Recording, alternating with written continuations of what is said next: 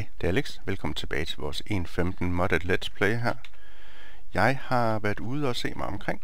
Øh, jeg ved ikke, om I kan huske, at vi clearede den her Dungeon 2. Dungeon Crawl Dungeon. Jeg fandt en mere hernede, som jeg cleared off-cam, fordi folk de kan ikke lide at se det åbenbart.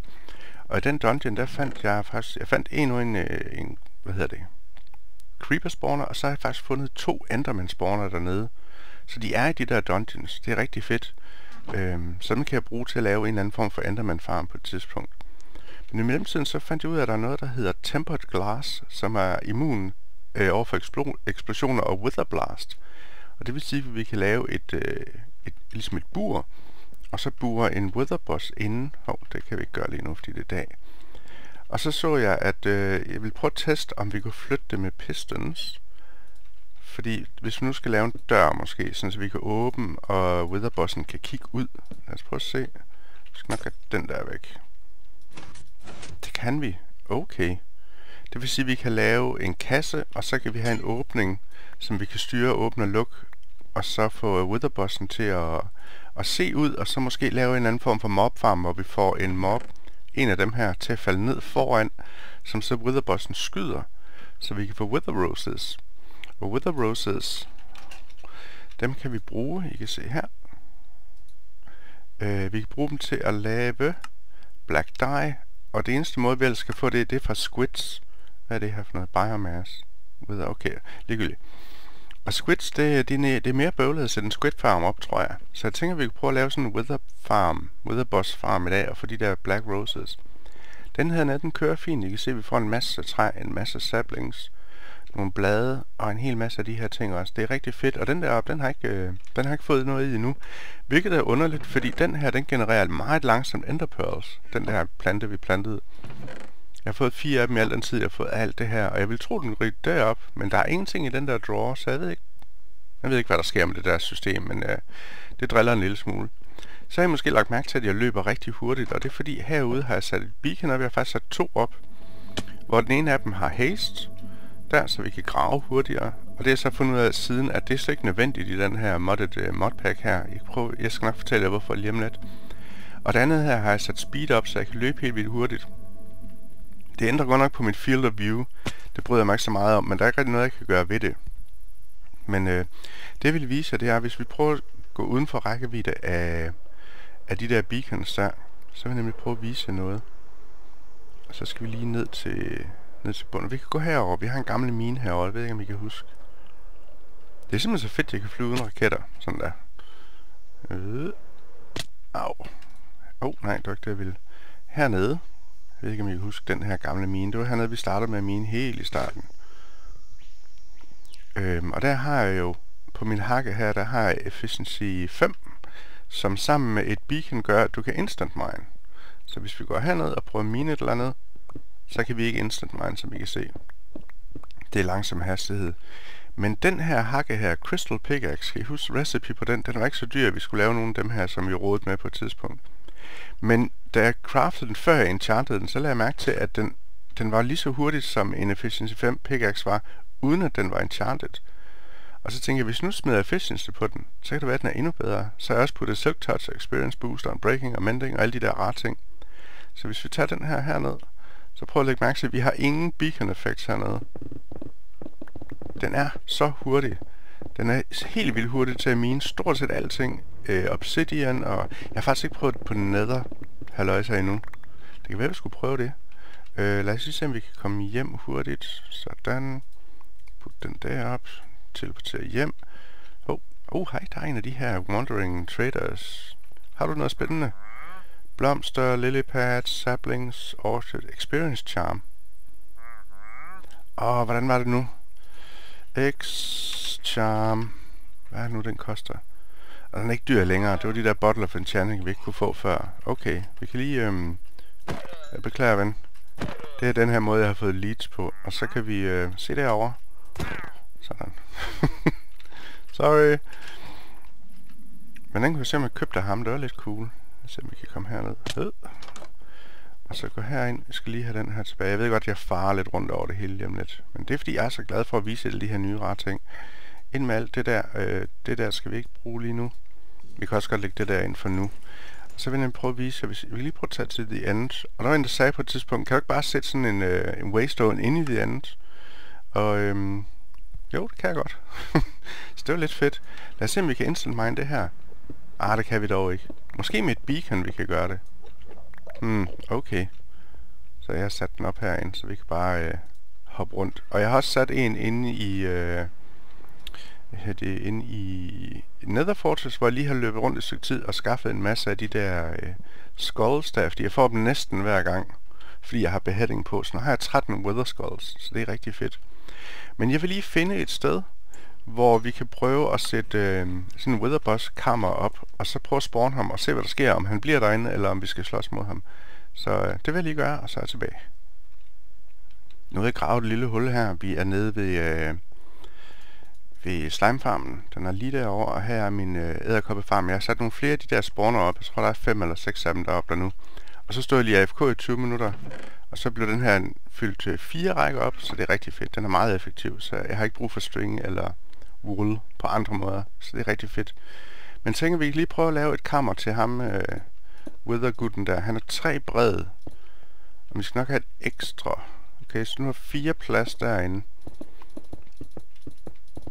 Det er ikke kønt nedenunder, men det må vi fikse senere. Og så skal vi i hvert fald have, at den er tre høj. Fordi han er tre høj, så det skal den her i hvert fald også være. Jeg har ikke prøvet at lave det her før. Ikke den her modpack her i hvert fald. Hey, jeg kan nå 3 med den her. Det, man plejer kun at kunne nå 2. Det var da underligt.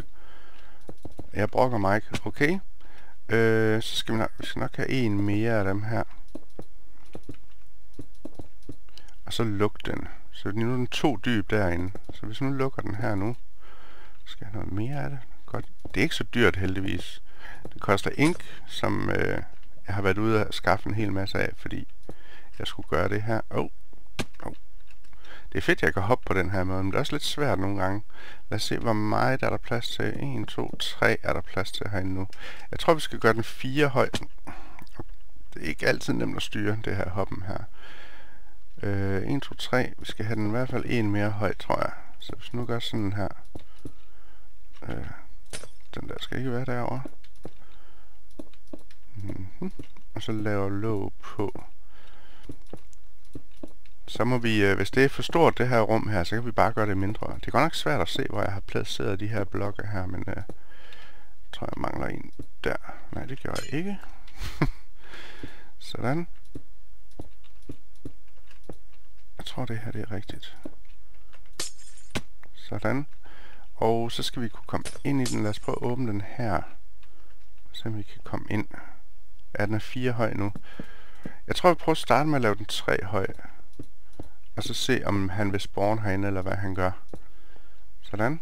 Og så... Åh, jeg har selvfølgelig glemt de der ting, vi skal bruge. Det tager heldigvis ikke så lang tid med de her waystones her. Det er rigtig dejligt. Base. Giv mig mit speed boost. Tak. Så skal vi have skull. Og vi skal have soul sand. Sådan. Så kan vi smutte derned igen. Whee! Boop. Uh, slime farm. Ja tak. Har stadigvæk mit speed hernede lidt endnu, indtil det går væk. Okay, lad os så prøve at se, om vi kan spawn ham herinde og se, hvad han gør. Øh, se. 1, 2 her måske. Hvis nu kunne lukke ham helt inde, så ville det være fedt. Okay, vi kan i hvert fald spawn ham herinde. Så se, hvad han gør. Skru lige lidt ned, faktisk. Options, sounds, hostile creatures. Vi skruer herned herop, sådan.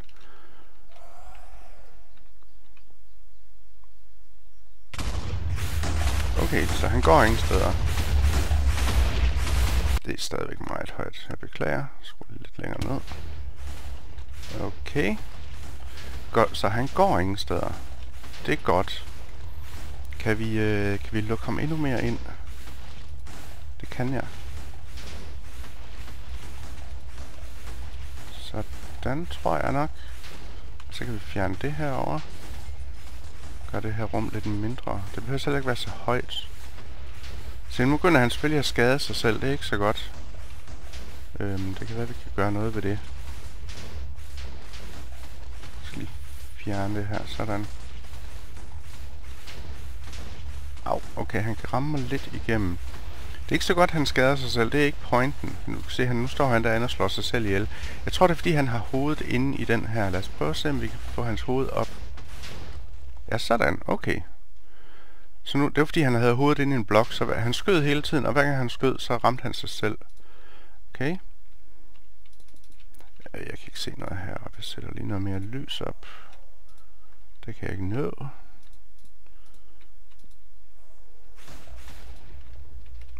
Okay. Øh, lad os se. at han, hvor meget er han lukket inde? Vi kan gå herind lidt. Det kan være, vi kan lukke ham lidt mere ind. Det tror jeg, vi kan. Sådan. Og hernede. Så kan vi fjerne det her. Sådan, samle det hele op. Øh, ja, 5. Sådan. Okay. Vi skal lige lukke det der hul. Så skal vi finde et sted, hvor han kan kigge ud. Måske. Hvis jeg nu gør sådan her. Kan han så se mig her? Og skyde på mig? Det kan han ikke. Måske hvis den er to bred. Kan du skyde mig her nu? Det kan han stadig ikke. Mm, det kan være, at vi skal stå på et eller andet. Jeg skal lige have nogle blokke. Her. Jeg tager bare noget stone. Og så prøve at gå herop. Kan du ramme mig her, ven? Det kan han. Okay, lige her. På hvad for en af dem her rammer han? Han rammer i hvert fald på den der. Han kan ikke ramme hernede. Okay, hvis nu sætter en blok mere ind. Jeg er immun over for hans effekt. Det er derfor, det ikke bekymrer mig. Sådan. Kan han så ramme mig igennem det der lille hul der? Der er kun et hul lige her nu.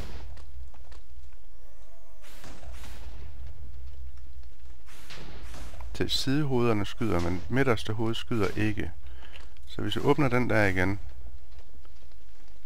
så burde han kunne skyde R. Så skal jeg stå på den her. Ja, okay. Så vi skal stå på den der. Så hvis vi kan få nogle monster til at ende på den der blok, lige der. Jeg skal noget mere lys op herinde. Der er godt nok mørkt med det her glas her. Jeg beklager, jeg ved ikke, om det er et problem på YouTube. Det håber jeg ikke. Sådan. Øh, mad. Der. Okay. Så jeg har taget en, øh, jeg har taget en skeletspawner med hernede. Så hvis jeg nu kan få dem til at spawn på en eller anden måde, måske ovenover her, og så falde ned og lande lige her, så de står på den blok. Den skal nok være lavet af obsidian, hvad jeg tror. Eller måske er det her glas her. Og så han skyder, så burde det droppe with the roses. Ja, okay. Det tror jeg lige vil arbejde, arbejde lidt på. Der er ingen grund til, at I ser mig grave et hul ud og få de der monster til at flytte sig. Men nu har vi i hvert fald en, øh, en fanget weather her. Det er rigtig godt, og han slår ikke sig selv ihjel længere. Det er fedt. Okay. Jeg er tilbage lige om lidt. Nu har jeg lavet et lille rum her, hvor jeg håber, at skeletterne de vil spawne. Lad os prøve at se, om jeg har mine spawner i lommen stadigvæk. Puttede den her ind, det jeg ikke. Det var den anden taske. Øh, her. Skelet spawner. Sæt den der. Okay, så kommer skelet der. Lad os se, Okay, han skyder på mig. Jeg skal lige ud herfra. Øh, og så hop herned. Så lad os prøve at komme og se, hvad der sker her, om hvis han falder herned. Det er ikke sikkert, at han gør det, før der kommer et skelet mere. Og så skulle han gerne falde ned, og så ende med at stå der. Så hans hoved er i højde med hovedet på witheren her. Håber jeg. Hallo? Det kan være, at jeg skal op og slukke lyset derop, faktisk. Ja, fordi jeg tror ikke, der kommer flere. Ja, ja, det er godt med dig. Ja, der er rimelig mørkt herinde nu. Skal, jeg kan ikke se noget for den her hoppe-effekt her. Sådan.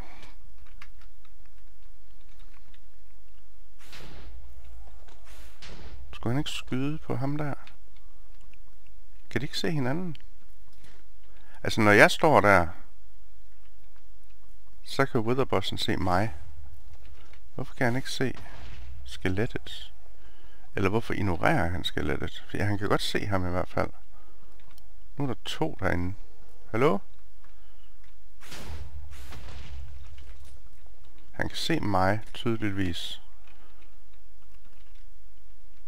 Men han kan ikke... Han vil ikke skyde på skeletterne. Hvorfor vil han ikke det? Øh... Kan det ikke lade sig gøre? Jeg synes, jeg har set andre gøre det her. Hmm. Jeg troede, han skød på alt. Det er ikke sikkert, at han skyder på skeletter måske. Det kan være, at vi skal prøve en anden mob. Zombier måske. Jeg ved ikke, om det gør nogen forskel. Ja, ja. I kan se mig og skyder på mig. Det er meget fint. I siger, der kommer i hvert fald masser af skeletter ned, men han har ikke nogen interesse i dem. Øhm. Jamen nu. Jeg tror lige, vi gør... Øh, jeg tror lige, vi gør sådan her. Måske også herom. Okay. Skyd på de der gutter. Kom så. Vær en god boss?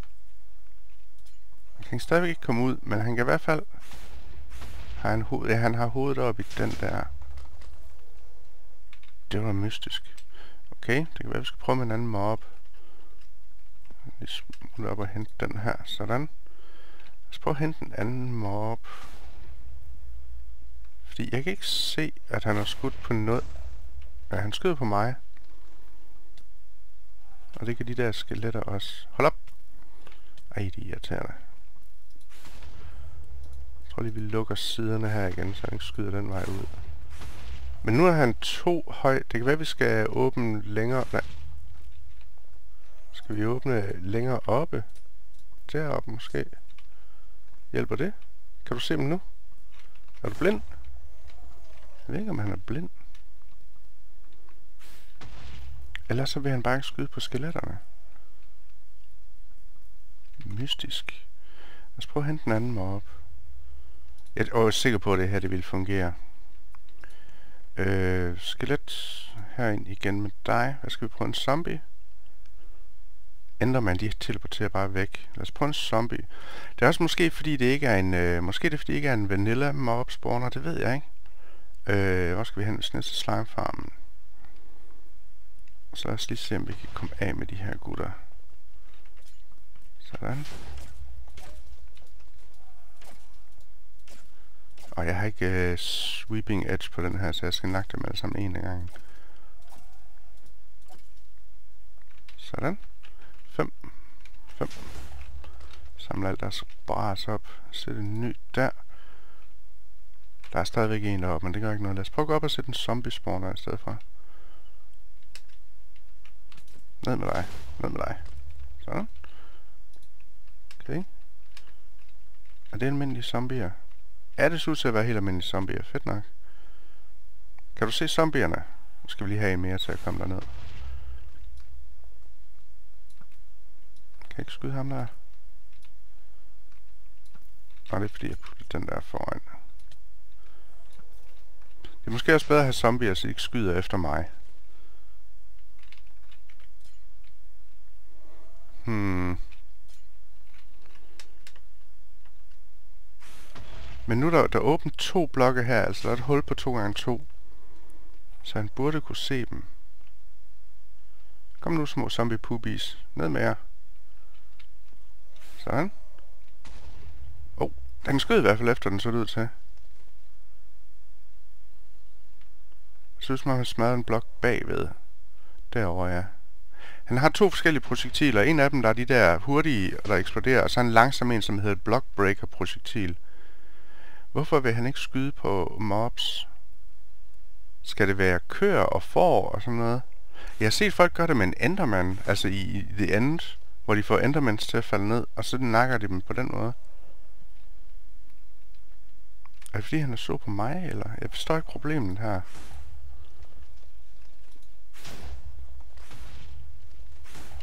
Kan du ikke skyde ud igennem det her hul? Jo, du kan så. Hvad er så problemet? Han kan tydeligvis skyde ud igennem hullet. Skyder han... Nej, jeg kan ikke sætte den derop, fordi så er det, han strangler sig selv, eller hvad det hedder. Hvorfor skyder du ikke på dem herover? Det kan være, at jeg skal stå på den anden side af dem. Det kan vi da godt prøve. Se, så skal vi ind her. Så op her. Måske... Hvor er det henne? Er det her? Ja.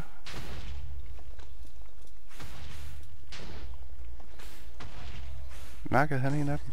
Han skød i hvert fald herover af.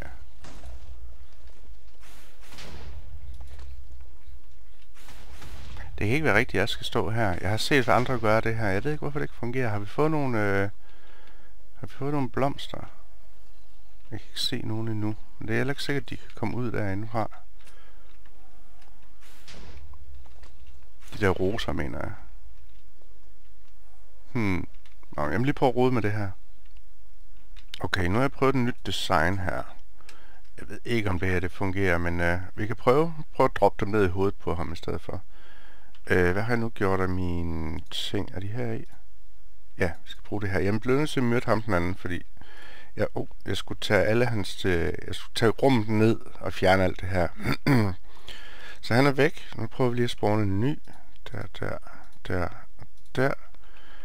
Er der noget i vejen? Der er en fakkel i vejen der. Og så se om det her det duer. Åh, oh, nej. Giv mig den der igen. Kan jeg, kan jeg få den igen? Tak. Og den der. Ej, det her hoppe noget her, det er svært nogle gange. Hop over. Hop over. Hop, hop. Okay, du kan også lande ovenpå den, det er fint. Kan vi så? Okay, godt nok. Ud herfra. Og lukke. så lad os se, om han bliver derinde nu.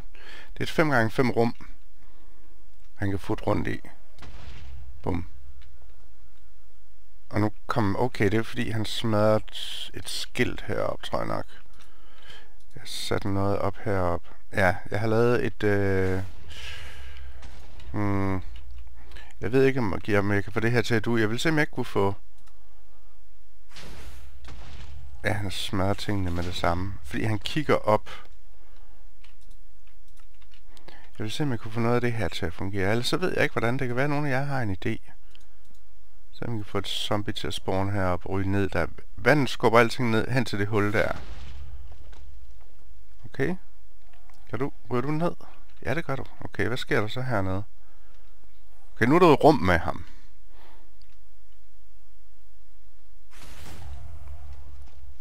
Øh. Skulle han ikke angribe alt? Eller er det kun jeg forstår ikke, hvorfor han ikke angriber den zombie. Det forstår jeg simpelthen ikke. Jo, nu gjorde han.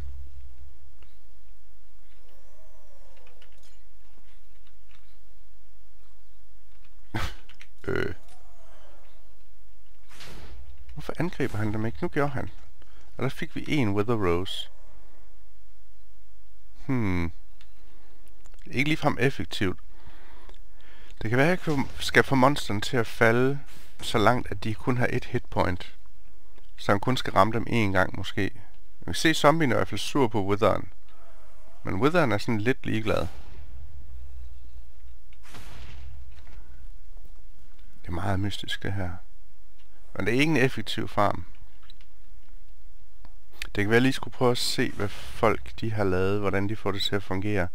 Jeg ved ikke, hvad for et af hans hoveder, man skal få ham til at kigge ud af. Altså det her, det fungerer en lille smule. Fordi nu er de i rum sammen med ham. Men han er stadigvæk ikke særlig... Jeg tror det ikke engang, han skød efter dem. Jeg tror bare, det var sådan random. Han skyder lidt rundt omkring, og så nogle gange rammer han dem. Og ja, det er meget mystisk det her. Jeg forstår ikke, hvad der er, der sker. Okay, jeg forstår ikke helt, hvad der sker. Jeg har prøvet at læse om, øh, om Witherbossen, og han angriber også Undead Mobs, Skeletons, Zombies og den slags, og deres varianter. Så jeg ved, det er ikke derfor i hvert fald, at han ikke vil angribe de der zombier. Jeg ved ikke, hvorfor han ikke gør det. Men i et tidligere øh, afsnit, der brugte jeg kør til at få nogle Wither Roses for at lave den charm her. Øhm, så jeg tænkte, hvis nu vi får nogle... Hvis nu får nogle friendly mobs derind. Okay, den nakkede han med det samme.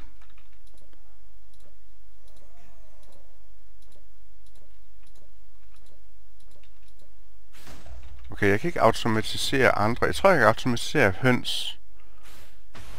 Ja. Altså, han smadrede sin egen rose. Det er derfor, jeg så en rose tidligere i hånden på en zombie deroppe. Men så blev den, så døde den, og så lå itemet på gulvet, og så... Øh... Hov, nej, du skal ikke... Ja, okay, jeg forstår godt, hvorfor du stikker af, ven. så det kan være, at vi skal lave et eller andet med... Se, vi skal få den ud med det samme, på en eller anden måde. Ja, så, kan, så hvis vi laver en eller anden form for automatisk hønsefarm, ovenover måske, og så får dem til at droppe ned, Gå lige derind, men. Kan du ikke gå derind, og så... Nej, okay, jeg forstår det godt. Det er heller ikke et sjovt sted at være derinde. Ellers så ved jeg ikke, hvordan jeg skal gøre. Jeg ved ikke, om nogen af jer har nogle idéer, så må jeg lige sige til. Sorry, lille ven. Men okay, jeg kan i hvert fald fange ham herinde. Prøv at lægge mærke til bossbaren oppe i toppen. Den er væk. Jeg ved ikke, hvorfor den forsvinder. Det gør den nogle gange. Men øh, ja, det må jeg prøve at se på. Det var i hvert fald, hvad du kunne blive til for i dag. Jeg beklager, at vi ikke kunne lave færmen færdig, men det har simpelthen drevet mig så meget. Jeg har brugt så lang tid på det. Så øh, hvis I har nogle idéer, så kom meget gerne med dem. I hvert fald så kan man bruge det her, hvis I bare vil slås med ham og slå ham ihjel, uden at han øh, kan stikke af. Men jeg kan godt tænke mig at kunne lave en anden form for farm. Så hvis I har nogle idéer eller nogle videoer, I synes, jeg skal se, så send dem til mig. Så vil jeg stoppe for i dag. Tusind tak, fordi du så med. Dig lige der. Og så ses vi næste gang. Hej hej.